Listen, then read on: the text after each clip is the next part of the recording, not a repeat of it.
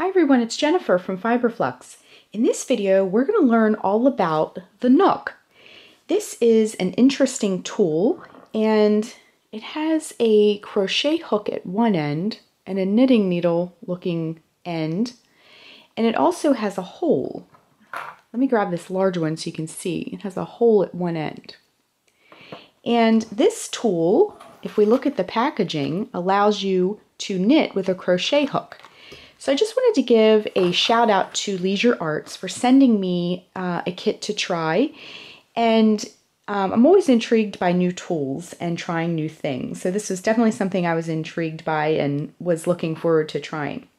It also comes with these cords. Now, if you notice, the smaller knooks are blue. This is the smallest one uh, in this particular kit is a 3.5 millimeter, and then they go all the way up to a 9 millimeter.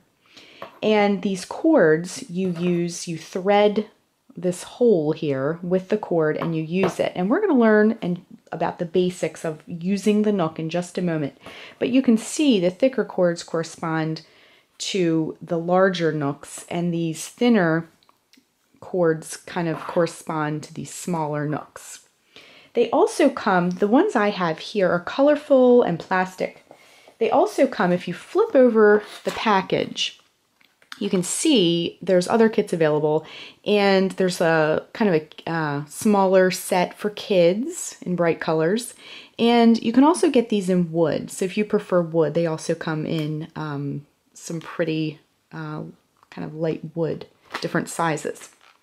So we're going to learn how to use the knook. I have here some of my own worsted weight acrylic yarn that we're going to use just a easy basic yarn and a kind of a medium weight.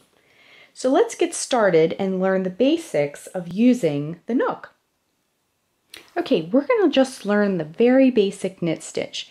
If you go on the Leisure Arts website, there is the knit stitch, the purl stitch, there are cables, knooking in the round, all kinds of interesting things. But we're just going to learn the very basics here just to get started. So I have the six millimeter knook and the corresponding pink thread. So this purple here goes with the purple cord and the blue with the blue, etc. I also have my yarn. So what we need to do is thread our knook first. So there's a little dab of glue here at the end, so it makes for easy threading. So you're gonna just insert the cord into this hole here.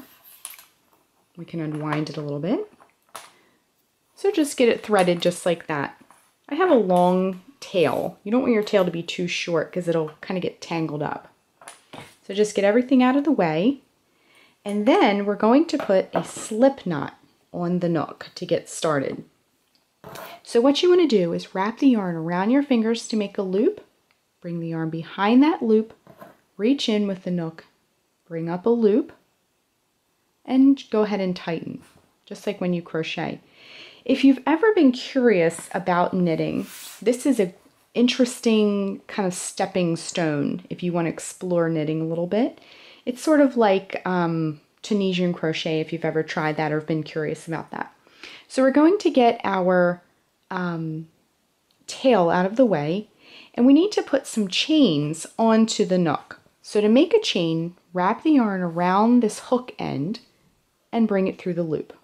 We're going to just do a few to make a small little swatch of this. Okay, so let's make another chain. That's two, three, four, five, six, seven, and eight.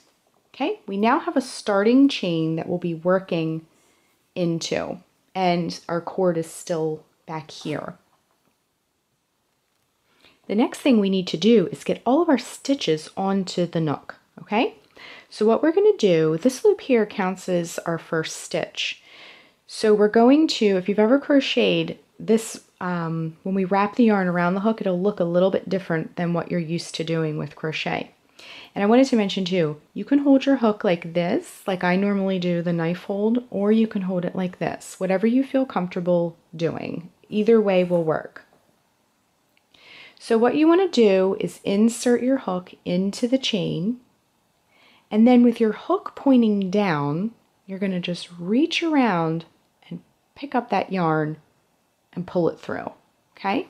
and that stitch will stay on your hook. Insert the hook into the next chain, reach back, grab that yarn, and pull it through.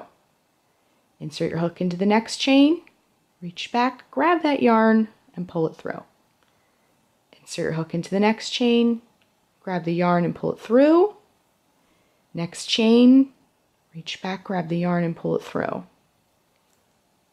Next chain, reach back, grab the yarn and pull it through.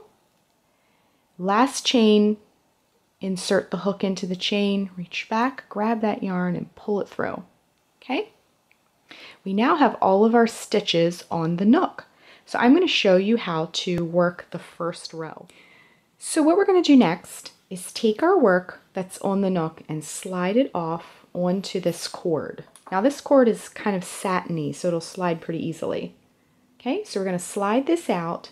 Now we have our tail from earlier. We're going to pull that free. So go ahead and just pull that out. Now, if you've ever knit before, you know that you have to turn your work. So what we're going to do is turn our work, get everything situated, get all these tails out of the way. And you can kind of um, pull this through if you need to. Next, we're going to let our yarn tail hang down and out of the way, and the end of our knook out of the way. And then we want to grab our working yarn. However you like to hold yarn is fine. And then we're ready to work our knit stitch of our row. So now we're ready to work our knit stitch. We're holding our work in our left hand. The working yarn, that's the yarn attached to the yarn ball, is in our left hand as well, and that's what's connected to the yarn ball. And we're holding our knook in the right hand. So what we're going to do is we're going to insert our hook from left to right. So go in from the left and come out on the right. You can go over top the cord or under it, it doesn't matter. Then we're going to do the same thing. Reach back and pull the yarn through, just like that. Okay, so we're inserting, let me just bring that a little closer. We're inserting the hook, the knook, the hook end of the knook, I should say, in from the left. So we're coming in on this side of the loop. We're going through, just like that. It doesn't matter if the cord is there or not, it'll get pulled through. So we're going to reach back and pull the yarn through, okay? So we just want to continue all the way across. Insert the hook from left to right into the loop, reach back, pull the yarn through. It might help you to keep your hook pointing downward. It's um, the more you practice, you'll figure out what how you like to hold it best. So insert the knook into that loop from left to right, reach back, pull some yarn up. Okay, again, keeping all these stitches on there reach back. Into the loop, reach back, pull some yarn through, just like that. Insert into the loop from left to right, reach back, pull the yarn through. Two loops left, insert from left to right, reach back, and pull it through. Again, we're not worrying about the cord. You can go under it or over it, doesn't matter. Okay, last loop. Reach in, reach back, and pull the yarn through. Okay, so we've worked our first row, and then I'm going to show you how to work the next row of our work. So to transition to the next row and continue, again, we're just doing a basic knit stitch, nothing fancy. You want to pull this cord out. Pull it all the way out. Just like that, okay? Now mine was a little long, so I'm going to shorten it up, just pull it up a little bit, and have this tail here. Just like that, okay?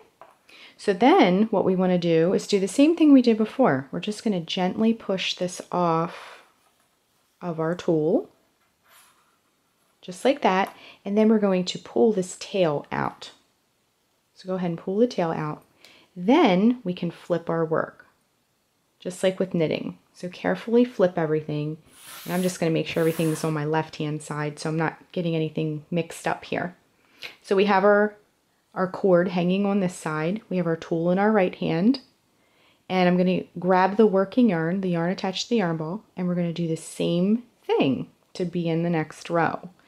So insert the knook from left to right again. Reach back. We can get this cord tightened up if you need to. Reach back and pull the yarn through. Just like that. Insert the knook into the next loop. Left to right. Reach back, pull the yarn through. Okay, we're just going to continue that Insert the knook into the loop from left to right, reach back, pull the yarn through. Insert the knook into the loop from left to right, reach back, grab that yarn, and pull it through. Just like that. If you need to tighten the satin from time to time, that's okay. Okay, I'm going to get a little bit more yarn off the yarn ball here. Grab my working yarn in my left hand. Okay, the next loop insert into the loop from left to right. Reach back, grab some yarn, and pull it through.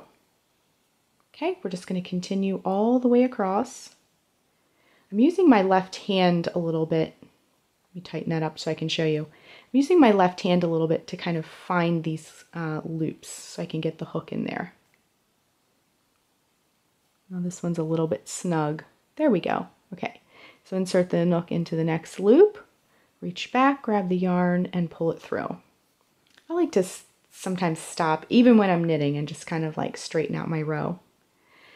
Okay, insert the knook into the next loop. We're coming up to the end here. There it is. Sometimes that cord gets in the way. Reach back and pull the yarn through. Okay, our last loop of the row, insert, reach back, and bring the yarn through. I didn't mention this before, but when you're using the knook, you want to just, uh, from time to time, just double check that your stitches are correct. So one, two, three, four, five, six, seven, eight. We're still at eight stitches, so that's good news. So to continue, you're just going to do the same thing. Just keep turning and flipping your work and working the rows like we did and until it's as long as you want it to be. If you want your piece to be wider, you can just simply chain more at the beginning of your project. And if you want it longer, just simply work more rows. I'm going to work a few more rows so we can get a better um, idea of what this fabric is going to look like once we've worked some more rows. So I went ahead and worked some more rows with the Knook, and as you can see, it looks just like uh, knitted garter uh, stitch fabric that you would you would get if you knit all the rows with your knitting needles.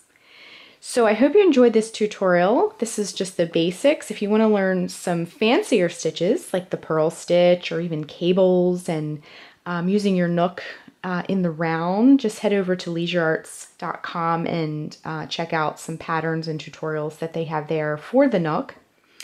So that is how you use the Knook. Thanks so much for watching and be sure and click the subscribe button to get all the latest Fiberflux video updates. Thanks again.